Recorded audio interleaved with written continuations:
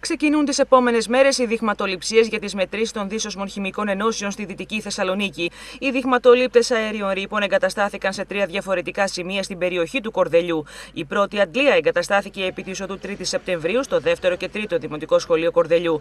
Οι άλλες δύο θέσεις που θα συλλέγουν δείγματα τοποθετήθηκαν στο παλιό Δημαρχείο και στο τρίτο Γυμνάσιο Κορδελιού. Θα συλλέγονται δείγματα από τρεις θέσεις δειγματοληψίας τα οποία θα μεταφέρονται στο εργαστήριο ελέγχου ρήπανσης περιβάλλοντος. Εκεί βρίσκεται το μεγάλο αναλυτικό όργανο που έχει γίνει δωρεά από τα ΕΛΠΕ και θα γίνεται προσδιορισμός των μερκαπτανών και άλλων δίσωσμων ενώσεων.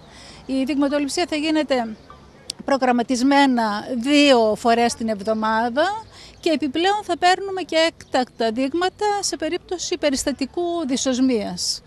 Ε, συνολικά θα συλλεγεί ένας πολύ μεγάλος αριθμός δειγμάτων, πάνω από 400. Θα εξετάσουμε πάνω από 50 ενώσεις που έχουν ε, δυσοσμία και είναι η πρώτη φορά που θα διερευνηθεί το πρόβλημα, το χρόνιο πρόβλημα δυσοσμίας στη Δυτική Θεσσαλονίκη ε, σε βάθος.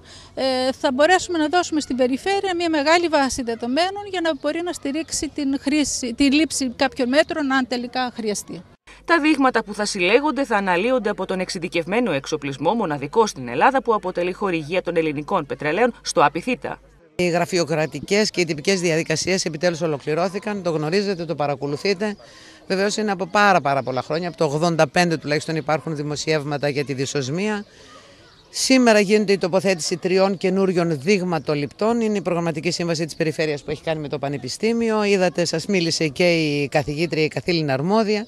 Ευελπιστούμε ότι θα μπορέσουμε επιτέλους, αφού μετρούμε και τις ε, χημικές ενώσεις, θα μπορέσουμε να βρούμε από πού προέρχεται αυτή η μυρωδιά. Πιστεύουμε ότι επιτέλους θα βρούμε Πρώτον, αν αυτές οι χημικές ενώσεις που παράγουν αυτή τη δυσοσμία αν είναι επικίνδυνες για τη δημόσια υγεία και κατά δεύτερον να βρούμε από πού αυτές προέρχονται. Αυτό είναι θετικό για άλλους του κατοίκους του Δήμου μας. Παράλληλα, υπήρξε και συμφωνία με το Υπουργείο Περιβάλλοντος και έγκριση χρηματοδότησης 130.000 ευρώ, με τα οποία θα γίνει η ολική ανακατασκευή του σταθμού μέτρησης αερίου ρήπων στο Κορδελιό. Για 13 μήνες θα παίρνουμε ανατακτά χρονικά διαστήματα δείγματα.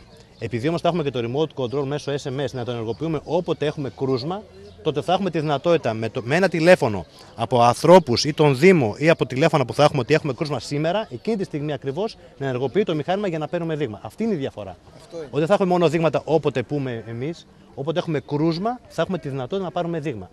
Σύμφωνα με την Κωνσταντινή Σαμαρά, υπεύθυνη του Εργαστηρίου Ελέγχου Ρήπανσης Περιβάλλοντος του Απιθύτα, είναι η πρώτη φορά που διερευνάται επιστημονικά και με μεγάλο βαθμό μετρήσεων περισσότερα από 400 δείγματα το σοβαρό πρόβλημα που ταλαιπωρεί τα δυτικά της πόλης από το 1985.